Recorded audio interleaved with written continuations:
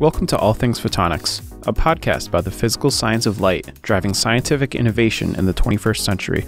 I'm Joel Williams, Associate Editor at Photonics Media. Join us as we explore the latest trends in optics, lasers, microscopy, and spectroscopy. Each episode, you'll hear from leading voices from across the photonics landscape, brought to you by Photonics Media. There are several deserving candidates for a spot on the Mount Rushmore of photonics news buzzwords in 2022. Think metasurface, semiconductor, metalens, VCSEL, or quantum. Surely there are more candidates than there are spots on this hypothetical mountain, but no photonics news Mount Rushmore is complete in 2022 without the inclusion of LiDAR. Today on All Things Photonics, that's where we head. While looking at the top LiDAR news of 2022 guides us into explorations of the latest trends in autonomous mobility and ADAS, LiDAR itself is hardly a novel technology, and it's hardly limited in its use cases.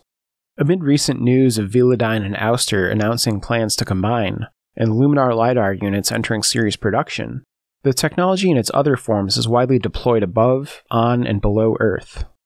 In our first segment, we set out to Texas for a conversation with Joey Thomas and Saul Nuccitelli, both from the Texas Water Development Board. Thomas, a Geographic Information Systems Program specialist, is using what is known as topobathymetric LiDAR along Texas's Llano River to collect data that will help to prevent flooding. That data, as Nuccitelli, the Texas Water Development Board's Director of Flood Science and Community Assistance, explains, is critical to helping residents understand and plan for flood risk. And later in our second segment, we head further south to the Mexican state of Campeche, where LiDAR is again being deployed, this time to investigate the ancient Mayan city of Calakmul. Here, the scanning technique relies on three wavelengths to peer beneath the forest canopy. The LiDAR data obtained from this ancient city reveals information on how Calakmul residents accessed and used water, information that in turn enables archaeologists to gain additional understanding about the settlement and its residents. Up next, we turn it over to Jake Saltzman with Saul Nuccitelli and Joey Thomas from the Texas Water Development Board.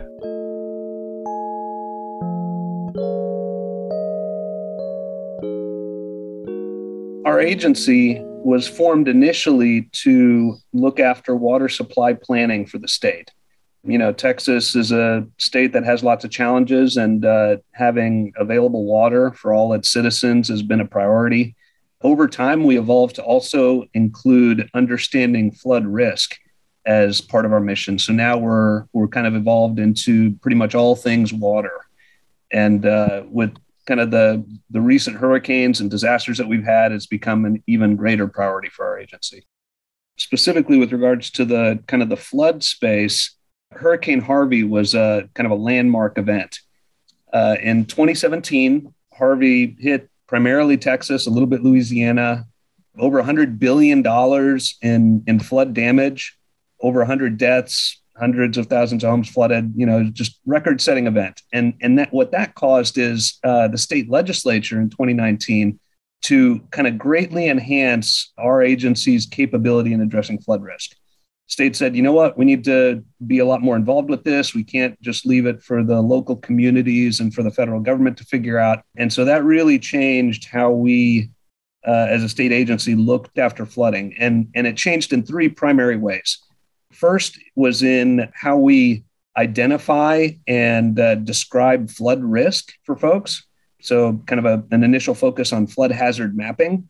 The second thing is to improve and really develop in kind of a new framework how we think about regional and statewide flood planning. In other words, you know, how are we going to manage future floods? How are we going to responsibly develop in areas? How how could we mitigate for flood risk? And then finally, thirdly, provide state funding to help local and regional communities and and uh, government agencies to specifically mitigate for flooding. So basically, mapping, planning, and mitigation. Those are kind of the three core tenets that evolved for us with with flooding in, in response to Harvey and other other disasters that have occurred. So no doubt there are legislative I'll go so far as to say political challenges that any agency must deal with. Um, another one, and this is another sort of place setting type question, is the fact that you're doing this in Texas, which, in addition to being an incredibly large state, is also an incredibly diverse one, just in terms of the climate um, that is found in the state. Can you talk about the challenges of doing the work that you do in that environment? Texas has a lot of different ecoregions. So we have desert, we have coastal plains, we have Texas hill country, piney woods.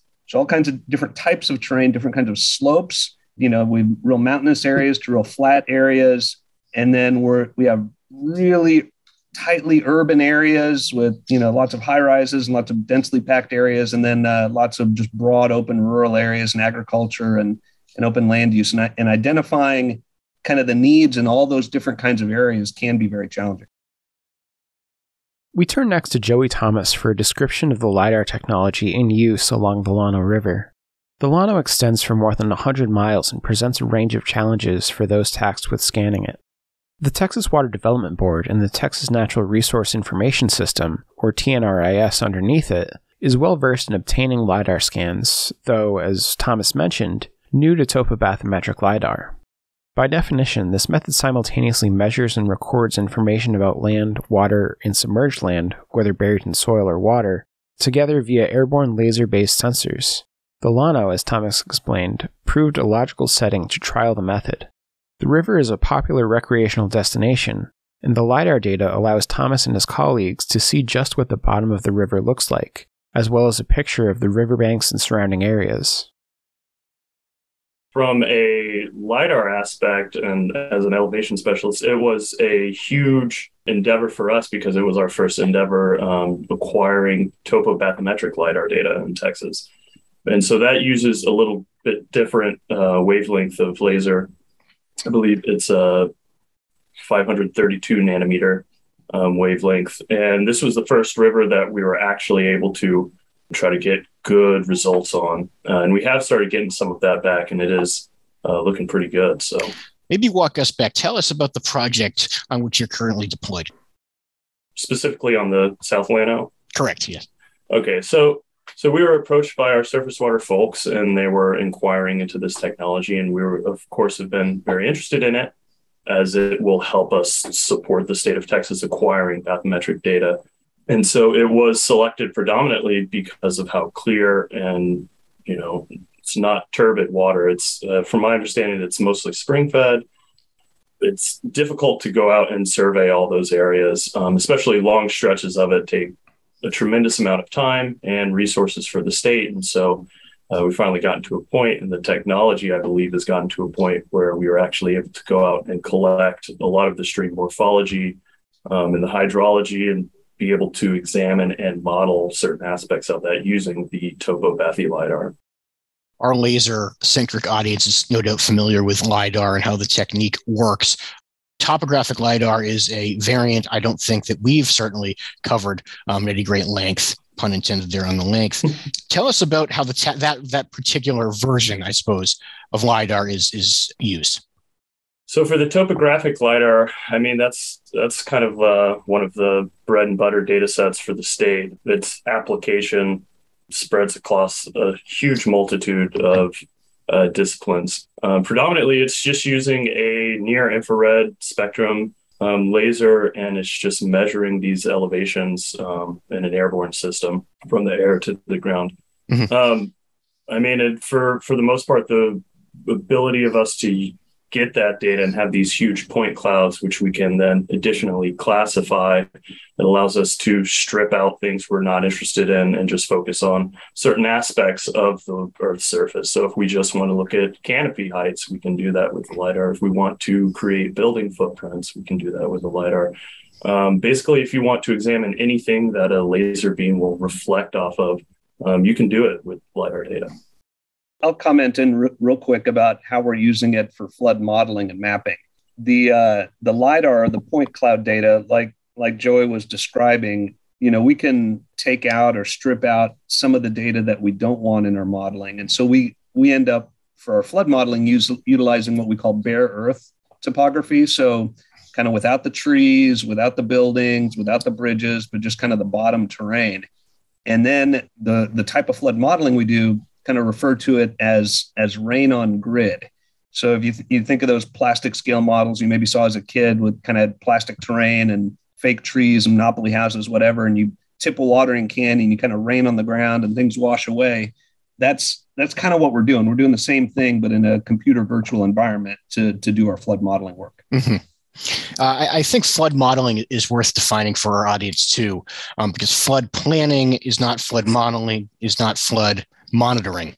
Um, I've made that mistake of, of conflating those terms several times. When we talk about flood modeling, what exactly are we talking about? Certainly. Uh, so, so flood modeling is just trying to understand uh, in either two ways. What is the risk of a specific event? How much flooding might occur? So, you know, Hurricane Ian was the recent event in Florida, and you know there was there were flood models that the National Weather Service was doing and trying to understand exactly to what extent water would be covering the ground. So there's flood modeling for specific events uh, that primarily the Weather Service and, and federal agencies focus on.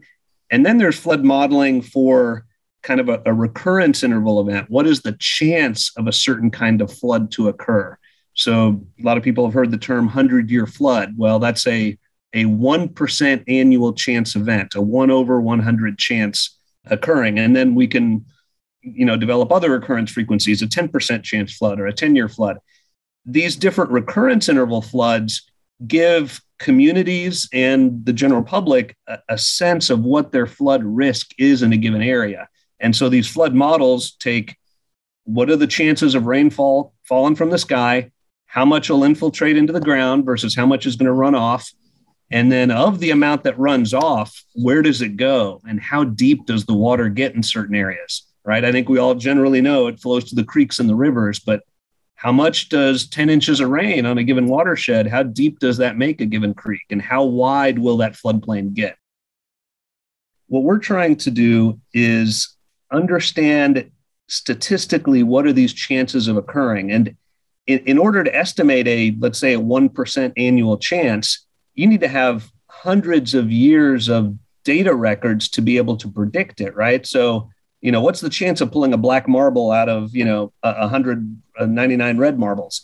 Well, if you don't understand kind of the underlying science of, of how rain can fall from the sky and then how much can get absorbed into the ground, you, you know, you're coming up with very coarse risks. And then if, if the statistics are moving in the sense that if there is sea level rise or if there is the chance for increased precipitation over time, then the statistics aren't just a static estimate of pulling the one black marble, right? So then there's chances of it, occurring more frequently. So when people toss out 100 year rain or 100 year flood, the, the estimates that we made before uh, may change over time. And so that, that certainly makes it a, a much more challenging effort to, to try to keep up with that.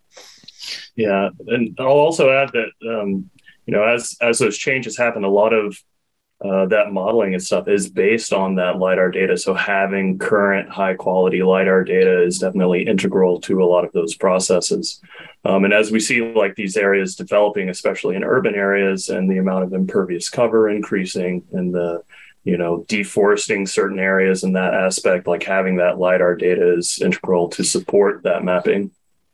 Call it lidar data that's what it is. There are multiple different ways to obtain a scan um, into point cloud and, and, even to interpret a, port, a point cloud. What are some of the benefits of a LiDAR based scan, an aerial LiDAR based scan, as opposed to some of the other methods that could be deployed for, for this kind of pursuit?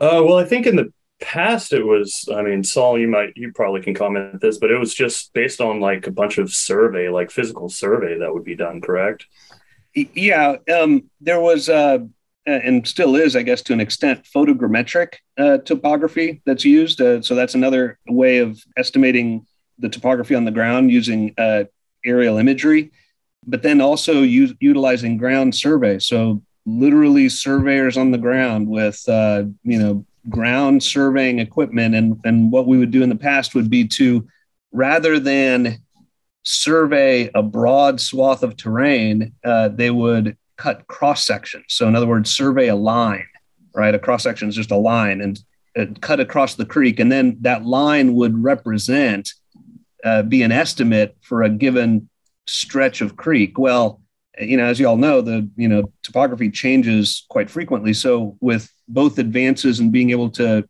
to utilize something like a lidar point cloud, but then advances in computing power, right? You know, without without the computers yeah. being able to process things with all this high density data, and then also advances in our software, both on the lidar side and the flood modeling side.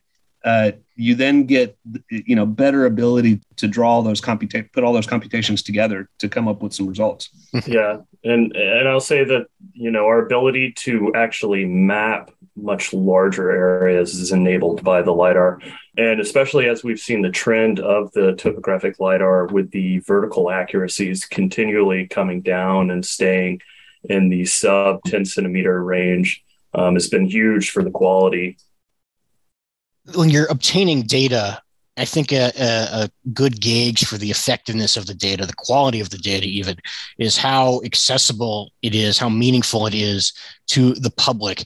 Uh, this is fairly complex data. Not anyone can look yeah. at it and understand exactly what is being obtained.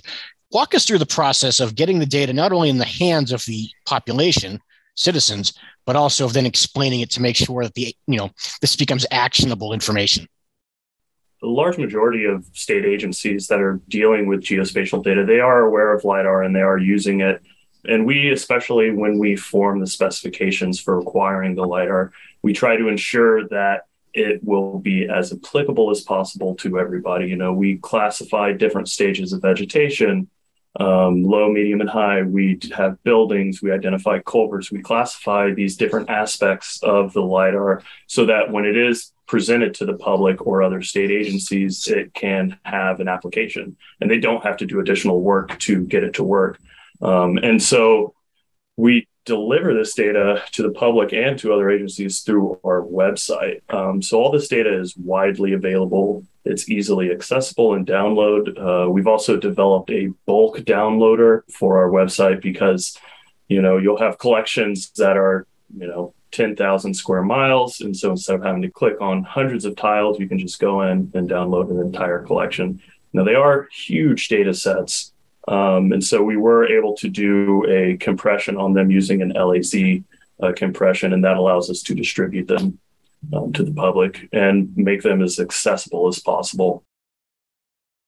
Extreme weather events this fall, including unprecedented flooding in Pakistan and Hurricane Ian in Florida, beg the question what's next? In essence, how can we be sure that technology will keep up with increasingly devastating weather events, many of which involve water? Some assurances are found in a look at how far the technology has come.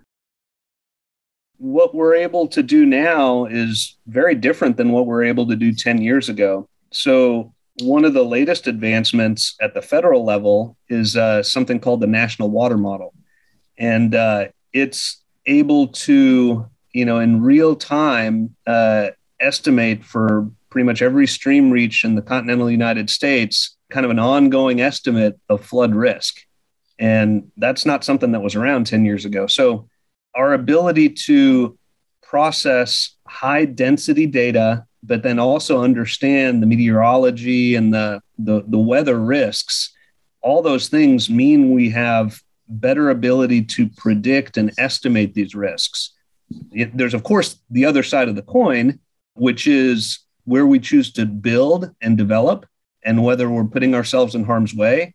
And so that's where understanding flood risk comes from. So, not just predicting a specific flood, but a general understanding of flood risk so that communities, whether it's in the US or anywhere around the world, can better understand the risk in a given area. And so maybe it'd be less likely that they would either develop or redevelop in a given area after a disaster. Strictly speaking, uh, uh, sort of call it on the ground technology, although as, as we've gone over, this is really sort of in the air technology. What, what's forthcoming? Are, are there any technological trends that we might be seeing in terms of monitoring or, or, or mapping? for our program, things that we're kind of moving into is we're definitely looking into trying to acquire more bathymetry data uh, for the state. I know that there's been some discussion on some, uh, I guess, terrestrial LIDAR and mapping of like roads and that sort of thing. Uh, but I mean, nothing, nothing concrete yet, but there is a lot of interest and there is a lot of you know desire for these types of data sets. Mm-hmm. Are, are, you or your is the agency working with with other agencies, other state agencies or interstate agencies to yeah, implement this technology?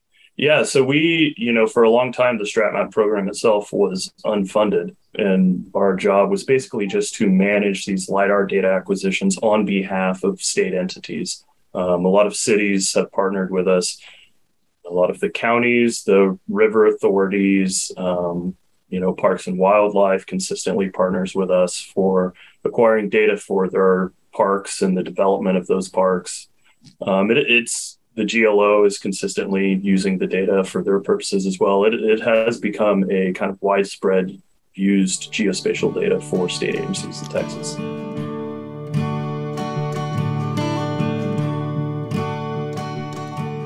As the old saying goes, it takes a village to perform a detailed LiDAR based exploration of a long buried ancient settlement. And so, in our next segment, we've compiled a panel to help us get there.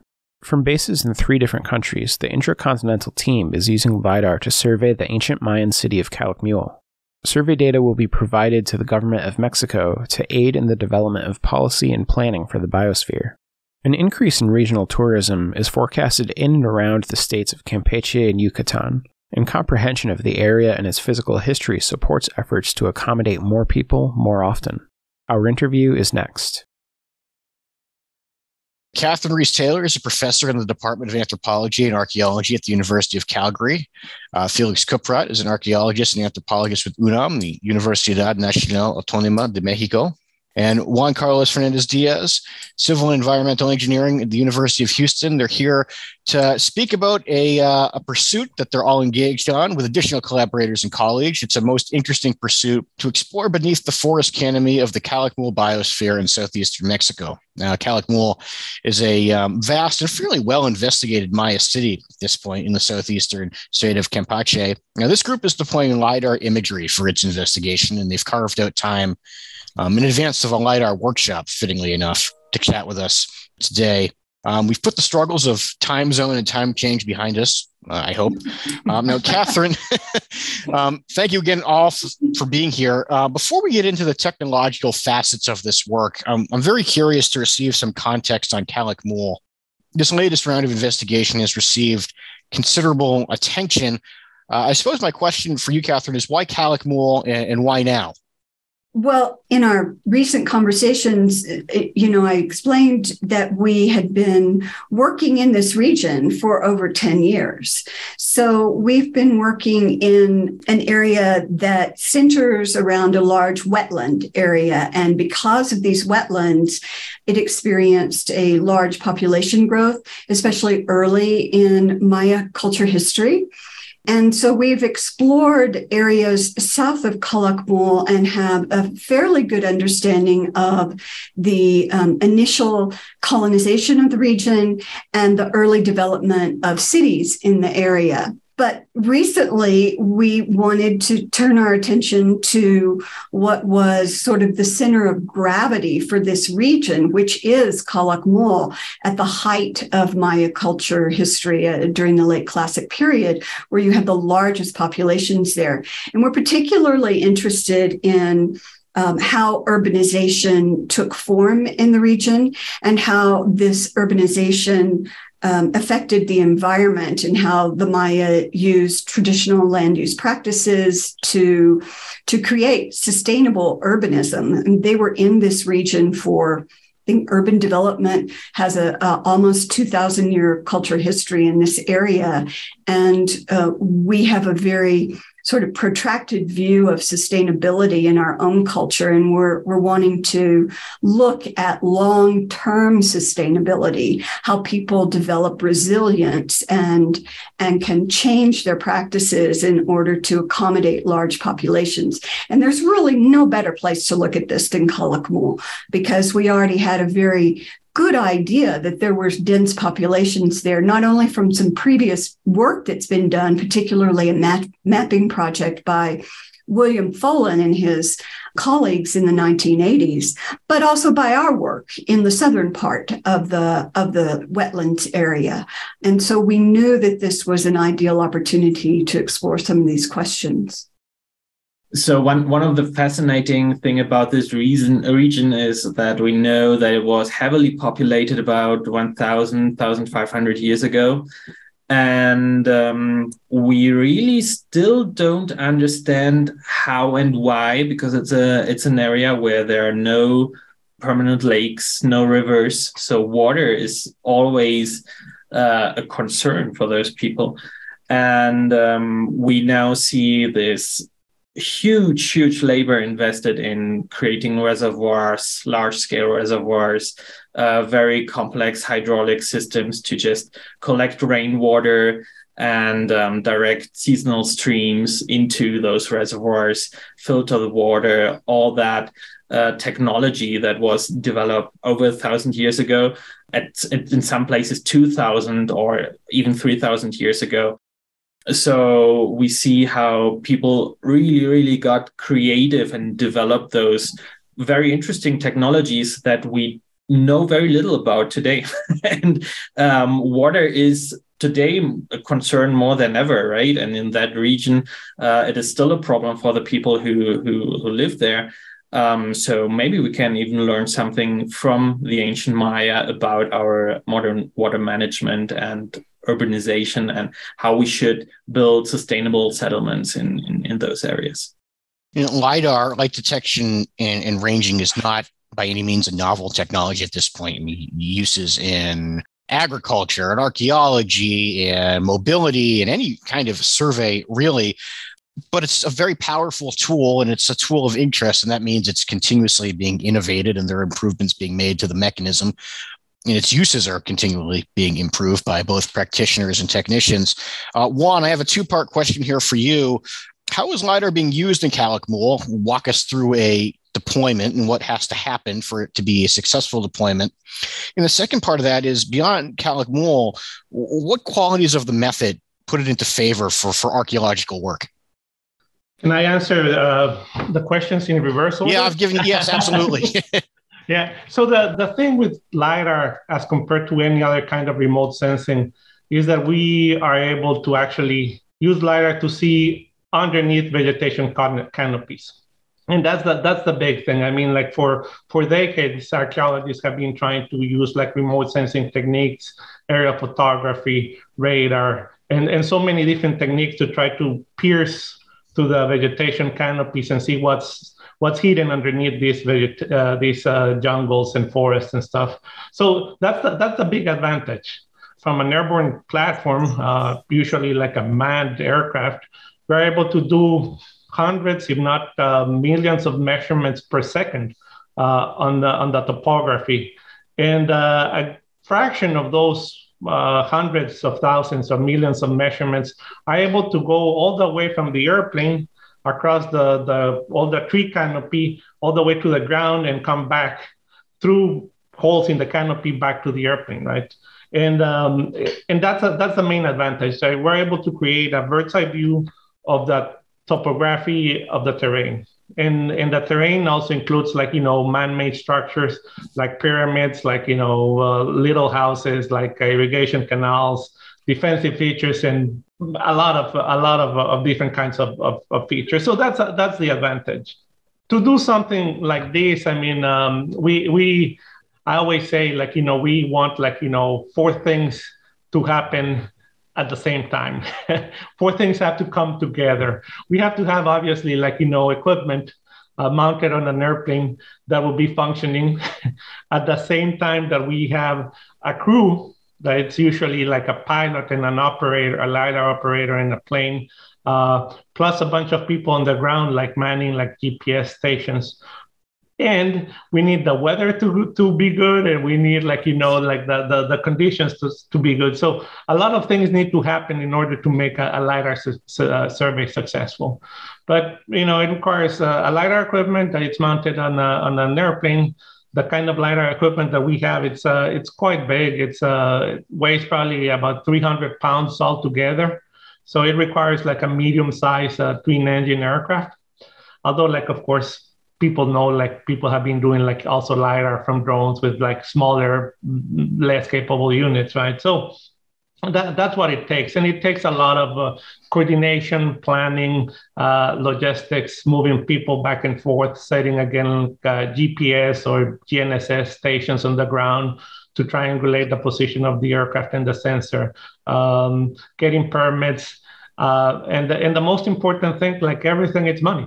The people like Kathryn and, and Felix have to find uh, the money to make all of this uh, possible.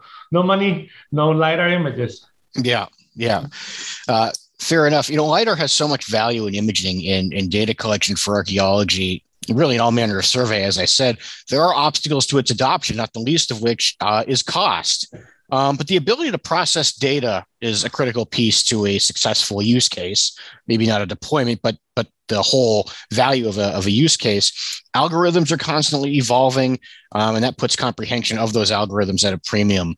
In terms of the format of the data that this work is obtaining, and I, I think Juan, this is another question for you. What's ultimately output? So you have a deployment. What do you have at the end of that? There's a, there's the data products are, are are many and diverse, right? But I will like you know just focus on the ones that we get to Kathy and Felix and many other archaeologists. So, I mean, after I usually say that for every hour that we sp- spend on the plane, we can spend between four to 10 hours processing the data and producing, like, you know, stuff that it's useful for archaeologists. And it this comes in, in basically two varieties. Uh, the first thing, it's a point cloud that, uh, as the name implies, it's just like a cloud of points that have like 3D coordinates, X, Y, Z and and of course these are being classified depending on the of the nature of the object that produced like uh, the reflection. It could be vegetation it could be ground it could be modern structures. So it's being classified and cleaned and like you know processed neatly. And then like uh, what's um what's and, and this is the i think the main lidar product. Then we can derive some uh, subsequent lidar products that are the ones that are most useful perhaps to, to at least prospective archaeology. Uh, and it, that's when we go and try to find things uh, under the vegetation, right? And what we do is that basically we remove all the LiDAR returns that come from the vegetation and only leave the returns that are coming from the ground and potential structures that are on the ground. And we create like a, a, a two and a half D raster model. So it has like a, an X, a Y, and a Z. Uh, and this is uh, like what we call the digital elevation model. And uh, based on those digital elevation models, then uh, Felix and uh, Kathy go to town and like, you know, apply like uh, different kinds of visualization algorithms and produce like different kinds of images that then they analyze, digitize, and, you know, obsess and lose sleep over. The team's forthcoming effort in Calakmul is hardly its first such endeavor. Similar to how our guest from the Texas Water Development Board spoke of critical advancements in technology, Reese Taylor notes some of the progress that has helped her and her colleagues in the last few years. In application, the effectiveness of the LiDAR mechanism is unparalleled, helping to allow experts like Reese Taylor, Kupprat, and others to work with crystal clear images and make accurate reads. With sometimes subtle differences between cultural and vegetative features, the accuracy of the LiDAR itself is crucial.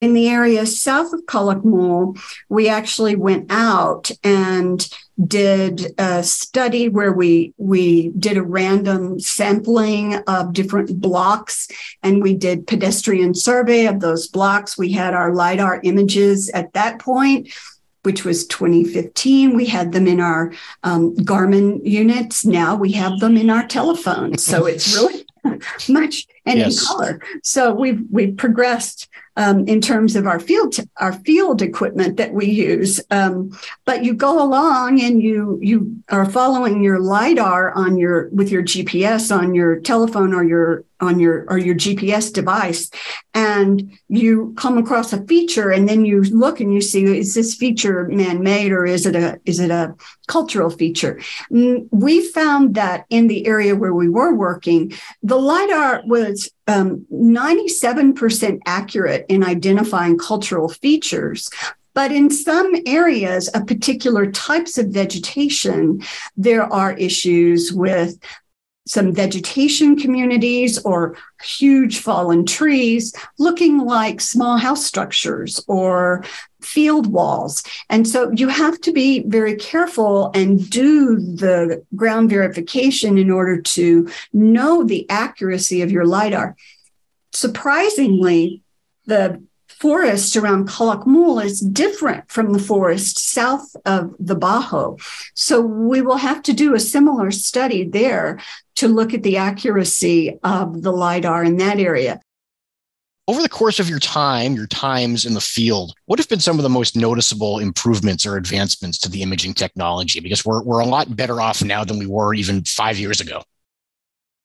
When you compare the 2014 collection with the 2022 collection, it's it's an incredible difference. The sensor, um, uh, the new sensors that uh, Lot One and others are using for the 2022 collection are um, much higher, use um, three wavelengths, not just one. And so as a result, we get much more information per scan, and the accuracy and the precision is much, much higher.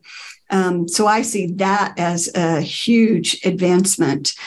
Also, little things like the ability to get the images with much, much more.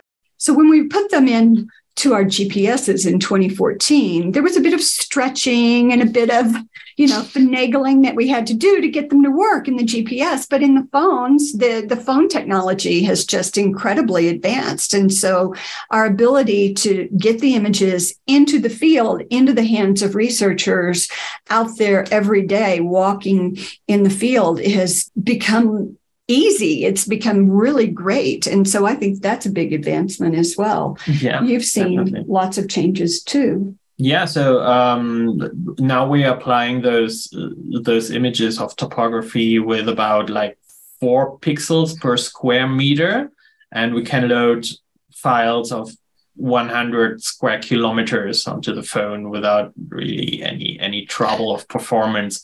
It doesn't even have to be a high end device. Yeah, it's incredible. It's working. it's yeah. incredible because you look back at papers where the numbers are just, you know, far less or far less impressive yeah. than they are now. Uh, you know, the, the factor to which this technology has increased is and increased quickly is is impressive. Um, Felix, I didn't mean to cut you off. Um, sorry about that. No, yeah.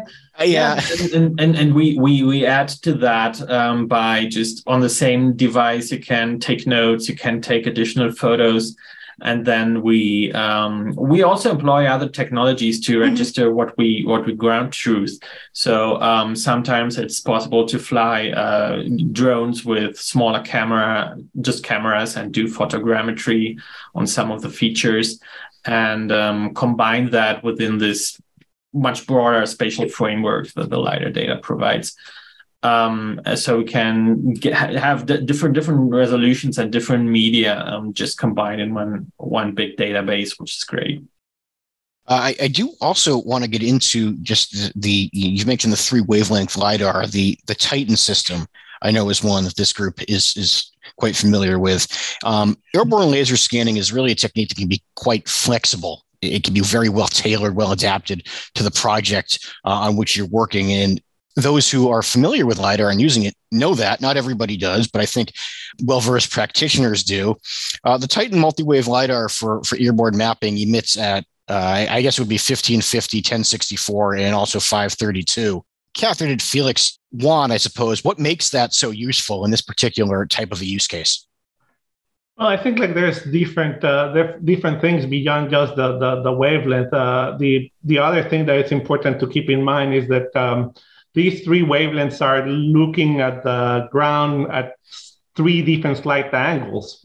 So the the 1064 looks straight down, and then like you have the 1515 looking about 3.5 degrees ahead and then the, the 532 nanometers looking seven degrees ahead of no, of, uh, of nadir. So basically what you're doing is like you're maximizing the, well, not maximizing, but you're creating more possible paths for the LiDAR, the laser energy to go from the sensor to through the canopy to the ground and back.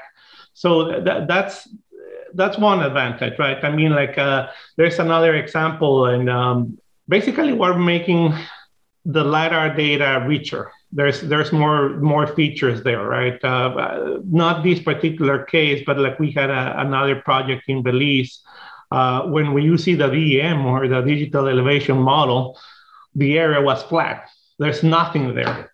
But then using the intensity of the backscatter signal, the, the intensity of the LiDAR, LiDAR intensity, we can create like a, a false color 3D uh, or a false color map of that area.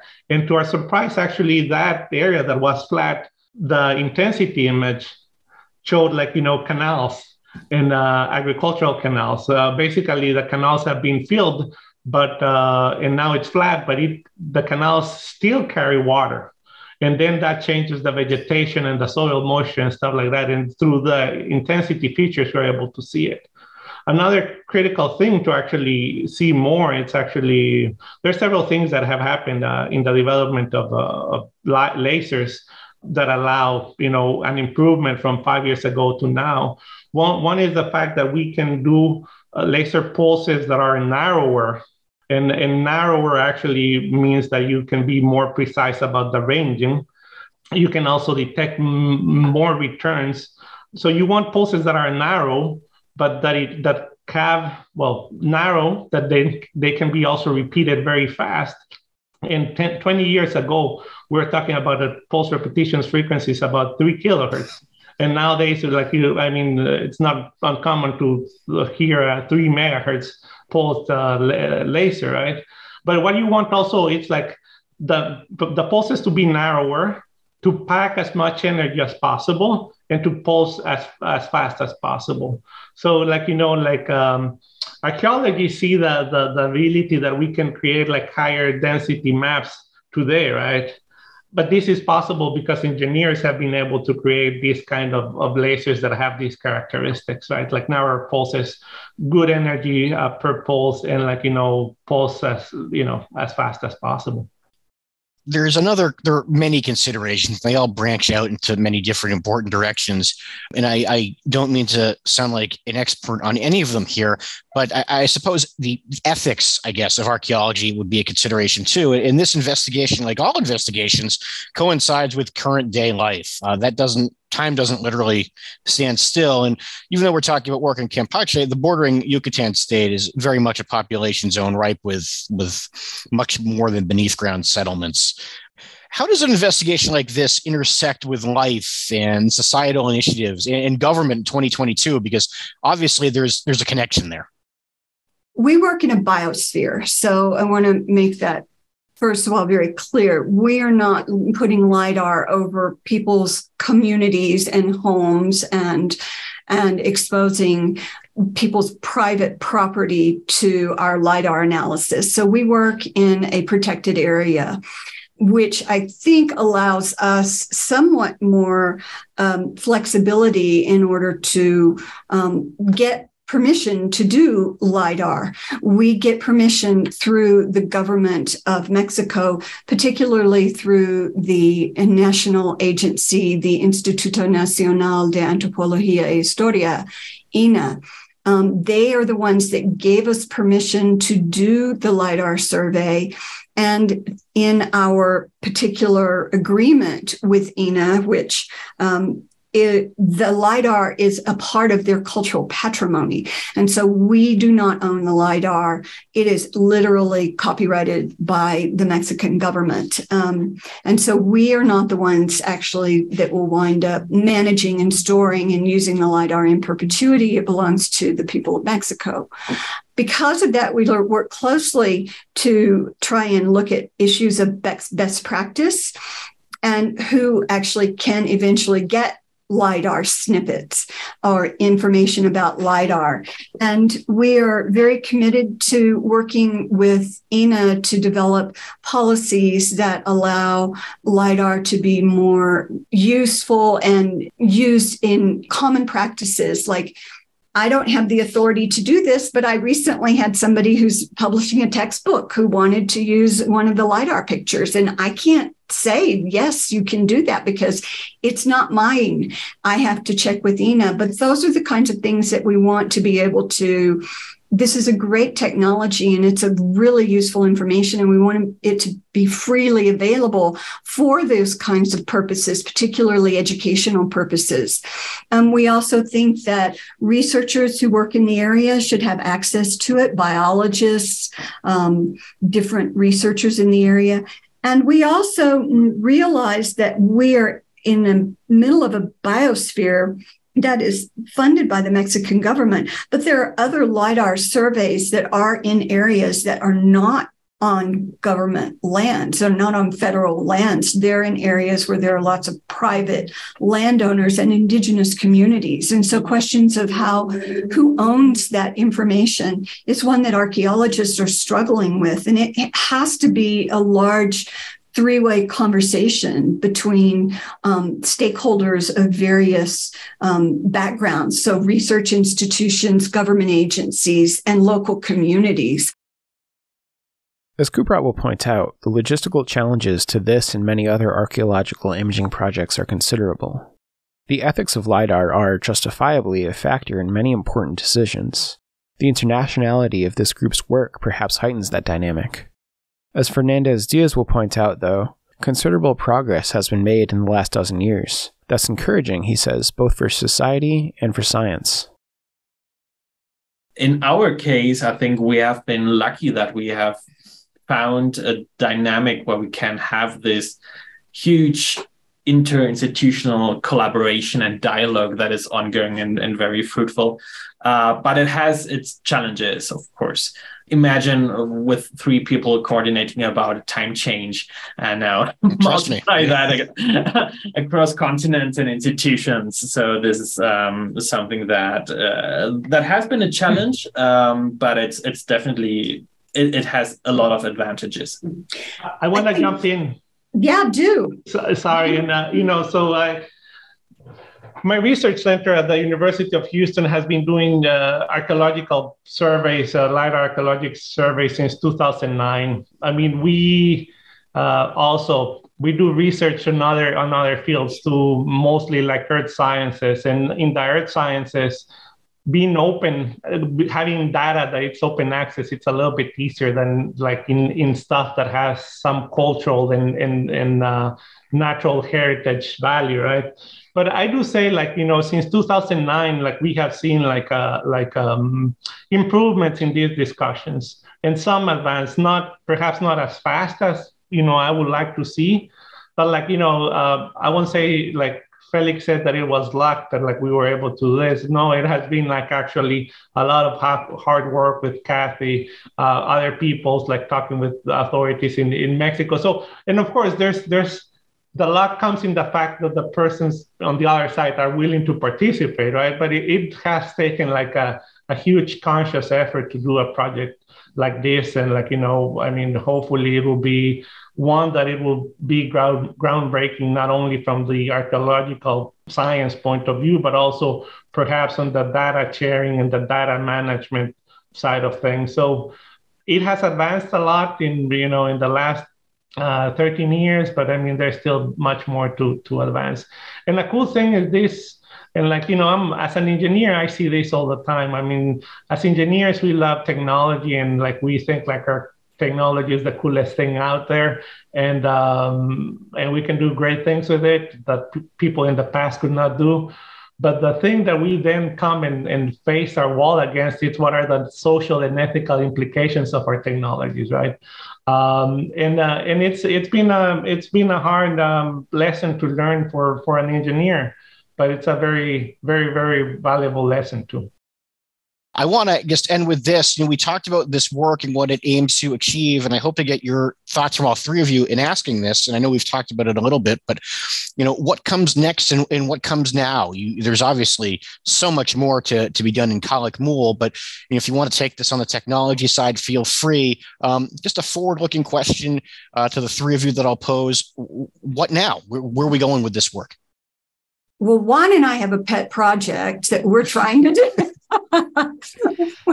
we want to look at we want to make lidar more affordable and we want to look at different um, different sort of platforms for uh, LIDAR sensing and something that will allow us to get the kind of resolution and accuracy that we get with the Titan with other kinds of sensors, maybe on drones or helicopters, um, in order to make LIDAR accessible for more researchers, not just in archaeology, but in general, because it is so expensive. And so that's a project we've been trying, shopping around, trying to find some some funding for. So if you know anyone who wants to fund us out there in your in your blog, I think our listenership might be uniquely qualified to to at least hear that. So, yes, yeah. we would like we would like to do that. We really would. We've got a great project that we would we're happy to pitch to anyone. Um, but for me, I think it's um, obviously I've got a lot of work to do at Calakmul. I think I will wind up, you know, being in this area for the rest of my career. We would like to do more in the biosphere. We would like to have LIDAR of the, of the entire biosphere. And so we're working on um, expanding our LIDAR area. But, you know, ultimately, I'm an archaeologist. So LIDAR to me is the starting point, And I want to go in and, and learn about the people in this area and learn about the sustainable practices and how um, this incredible uh, civilization arose and and what made it so um, successful over you know several thousand years. Um, so that's that's what I am. I'm an archaeologist. Um, so the, I've got questions about people and places and, and human environment interactions that I'm going to be pursuing and hope that our technology advances enough so that I can ask interesting, more and more interesting questions. I know that Juan and Felix have somewhat different perspectives, though yeah maybe add to that that we also want to use those uh, this data and those models that we have obtained now to um, further advance our ability to to present it to the to the general public to to build some proper platforms um, that people can access that for museography right? So Calakmul is an archaeological site that you can visit. Uh, it's very impressive. And um, we're now facing uh, the age where AR and VR are probably going to be much more accessible. Specifically, AR will be very, very interesting for for for tours, for on-site engagement with with ancient heritage, and um, this is also a way that we can um, minimize the the impact of tourism on the site. So when you can present stuff more in an augmented reality, um, this can be an alternative to excavating uh, to actually go and cut down all the trees and excavate a structure, right? So if if you can make a good or uh, an educated guess about how a structure would have looked like, you can include that into the museography at the site so so this this kind of, of, of multi multimedia platform development will be interesting and a challenge i think. Last word to Juan? Well i think i, I share with kathy like the desire to one day being able to map a big chunk of the Calakmul biosphere. So on that on one side that uh, from as an engineer i think like we're always looking for making things faster cheaper better uh, and that that applies not only to the the lidar sensor per se, but also like all the process from collection to the point like you know people like Kathy get their data, and hopefully in the future also like you know that data become like more open access and more open to to, to as many as people possible while at the same time uh, protecting the, the, the cultural and natural resources that it uh, it represents. That concludes this week's episode of All Things Photonics. Thank you to our engineer, Alan Shepard, and to our news editor, Jake Saltzman, as well as to this week's sponsors. Our featured music is courtesy of betterwithmusic.com. Most of all, thank you, our listeners. As always, you can share your thoughts, pitch us ideas, and let us know how we're doing. You can reach us at allthings at photonics.com. All Things Photonics is available on all major platforms, including Spotify, Apple Podcasts, as well as on our website, photonics.com.